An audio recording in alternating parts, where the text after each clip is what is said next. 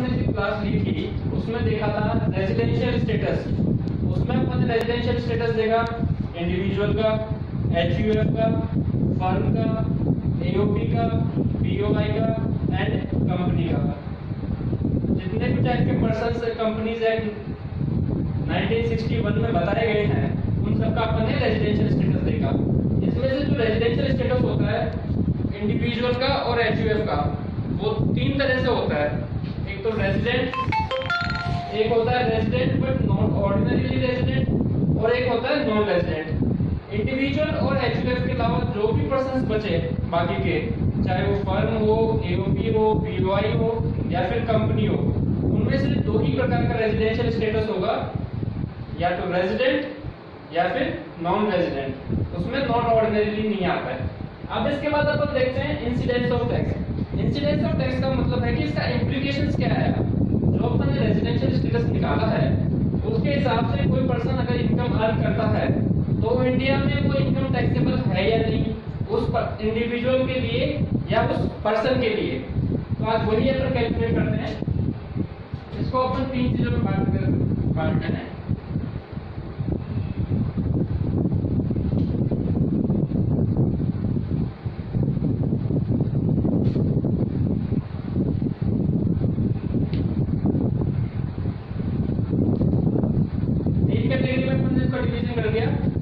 First category है resident जब भी वर्ड रेजिडेंट बोला जाएगा इसका मतलब है रेजिडेंट एंड ऑर्डिनरी रेजिडेंट जहाँ पे वर्ड आ गया आर एन आर इसका मतलब है resident but not ordinary resident और तीसरा अपना जो स्टेटस आ गया वो आ गया नॉन रेजिडेंट अब इसमें अपन इनकम देख लेते हैं कैसे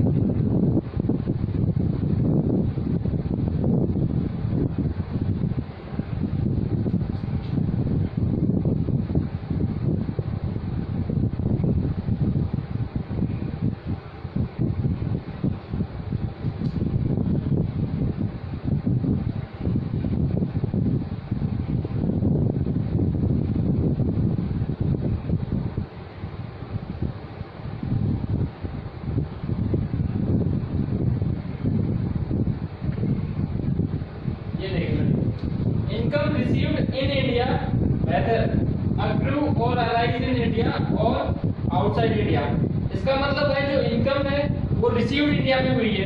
चाहे वो अग्रिव या अराइज इंडिया में हुई हो या नहीं हुई हो। मतलब उसका सोर्स इंडिया में हो या नहीं हो अराइजल का लेकिन रिसीव्ड कहाँ हो रही है? इंडिया में।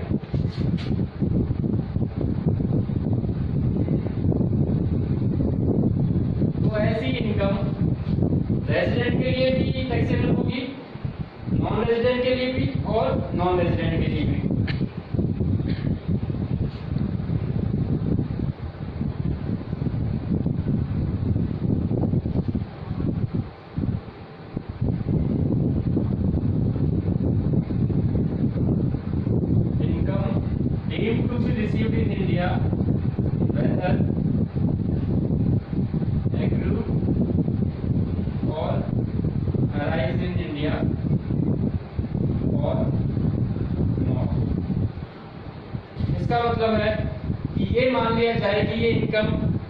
इंडिया में रिसीव हुई है, चाहे वो एक्चुअल में रिसीव हुई हो या नहीं हुई हो, और वो अर्न कहीं भी कहीं हो, इंडिया में या वर्ल्ड के किसी भी पार्ट में, लेकिन deem to be received in India मतलब ये मानी जाएगी कि ये इनकम रिसीव्ड इंडिया में हुई है। तो ऐसी इनकम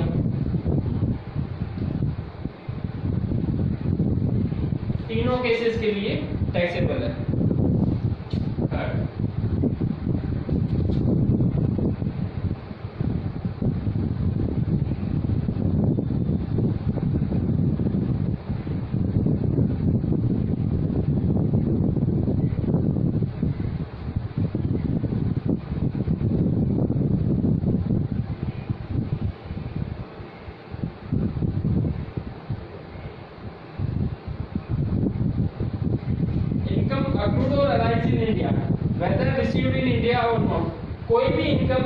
इंडिया में जनरेट हुई है, चाहे वो इंडिया में मिली हो या नहीं मिली हो मतलब उसका इनकम का जो ओरिजिन का सोर्स है, वो इंडिया रहेगा, ऐसे केस में वो तीनों के लिए टैक्सेबल होगी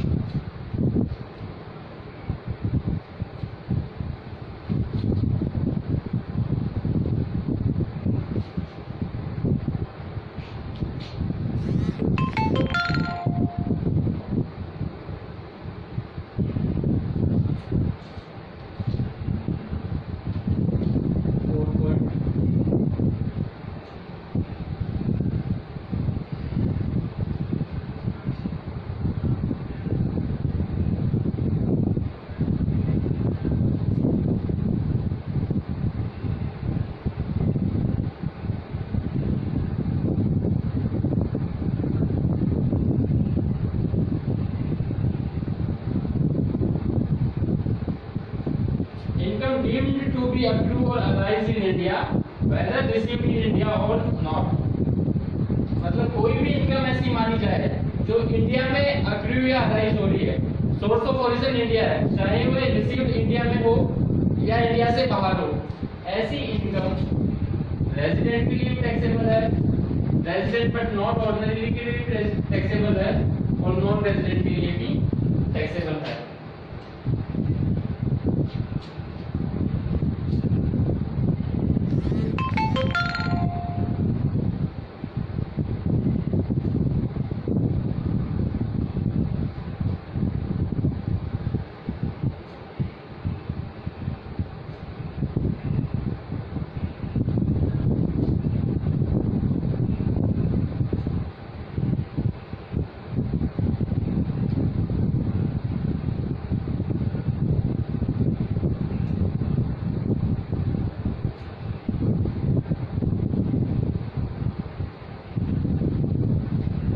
income received, accrued or arise outside India.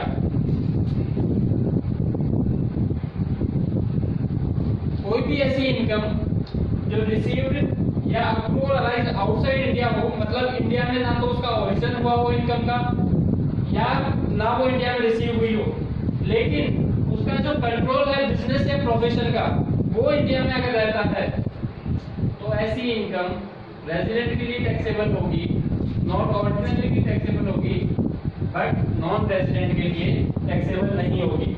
Non resident के लिए इसलिए टैक्सेबल नहीं होगी क्योंकि वो इंडिया का रेजिडेंट नहीं है। और ऐसी इनकम जो इंडिया से बाहर रिसीव हो रही है, और ओरिजिन भी उसका इंडिया के बाहर है, उस केस में टैक्सीबिलिटी नॉन रेजिडेंट के लिए नहीं बनती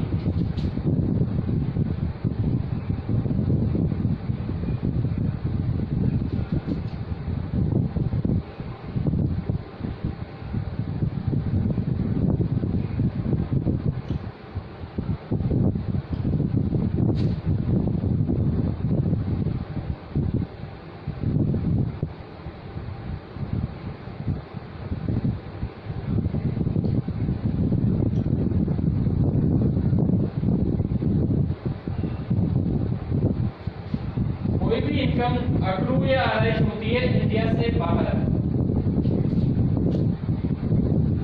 Outside India. पर उसका कंट्रोल और मैनेजमेंट भी अगर इंडिया के बाहर होता है। पहले केस में हमने देखा था कि कंट्रोल एंड मैनेजमेंट कहाँ था उसका? इंडिया के अंदर। अगर कंट्रोल एंड मैनेजमेंट बाहर होता है तो ऐसी इनकम रेजिडेंट के लिए तो टैक्सेबल होगी।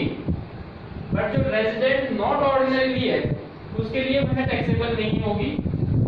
और में इनकम टैक्सेबल होगी नॉन रेजिडेंट के लिए। इसका मतलब है, अगर कंट्रोल एंड मैनेजमेंट इंडिया में होता है तो वो नॉन ऑर्डिनरी के टैक्सेबल होगी बट कंट्रोल एंड मैनेजमेंट अगर आउटसाइड इंडिया होता है तो वो नॉट ऑर्डिनरी के लिए टैक्सेबल नहीं होगी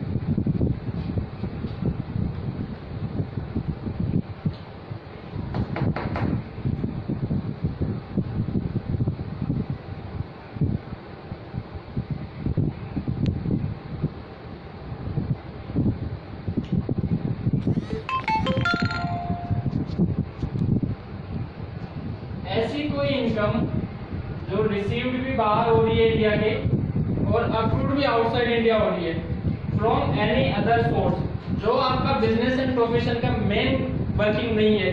जैसे मान लीजिए आपकी कोई ज़मीन बाहर है, विदेश में कहीं भी मान लीजिए, बांग्लादेश में मान लीजिए, श्रीलंका मान लीजिए, कहीं भी है, उससे आपको कोई इनकम जनरेट होती है।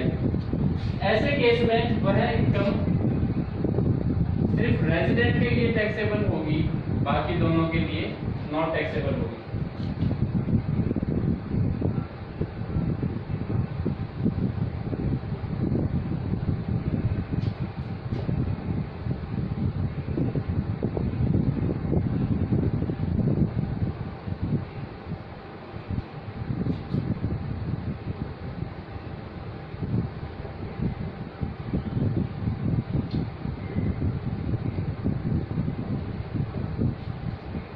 कोई इनकम जो पहले के सालों में कमाई हुई है और रिसीव भी पहले ही हो चुकी है, लेकिन उस इनकम को अपन प्रीवियस ईयर में रेमिटेड करते हैं इंडिया में।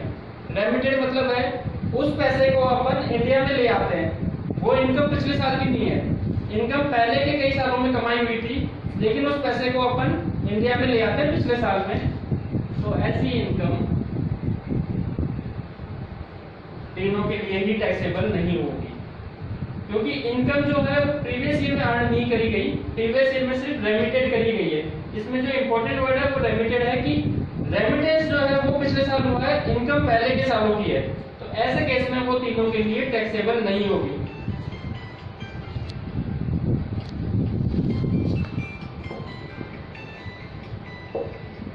इससे आगे अपन एक एग्जांपल देखेंगे। What was it?